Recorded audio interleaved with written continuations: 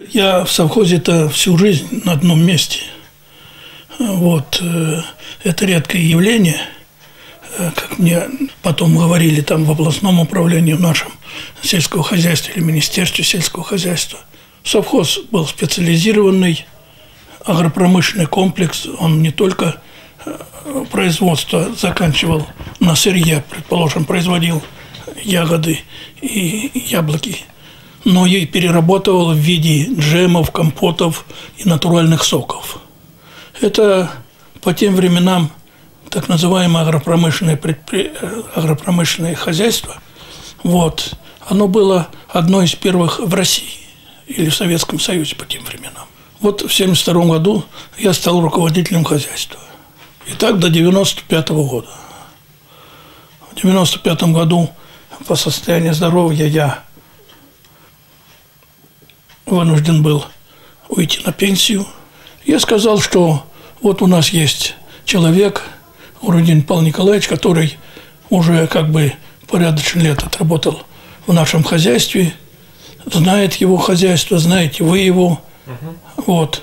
Поэтому рекомендую ему вам избрать его руководителем хозяйства. Э, В связи с тем, что указ президента э, Ельцина э, предписывал э, разделить землю на земельные паи и доли э, труда в производстве, значит, мы эту работу, конечно, проделали. Потом э, доходят до меня слухи, что совхоз акционируется.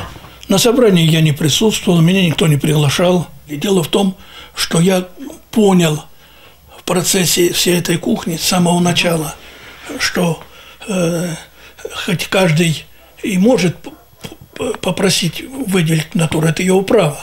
Но я видел, что э, значит, э, народ э, как бы в натуру может не получить, потому что тут разные ходили слухи.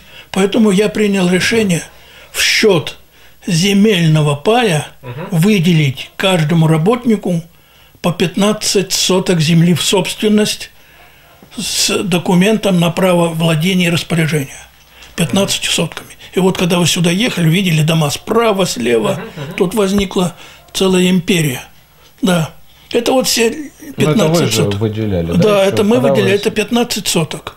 Но народ-то, в общем, в принципе, на тот момент был бедным, и э, э, а спрос на землю ч- в, частные руки э, возникал. И с неплохой, может быть, даже ценой, не знаю, как на тот момент это было. И люди э, начали эти 15 соток продавать. Но акционеров-то их, наверное, там маленькое количество. А, э, а земельные паи это были э, для 800 человек.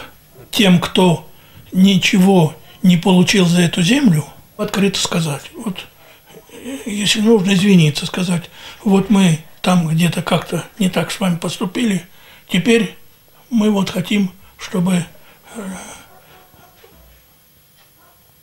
не просто извиниться, а чтобы эта доля вам досталась в полной мере.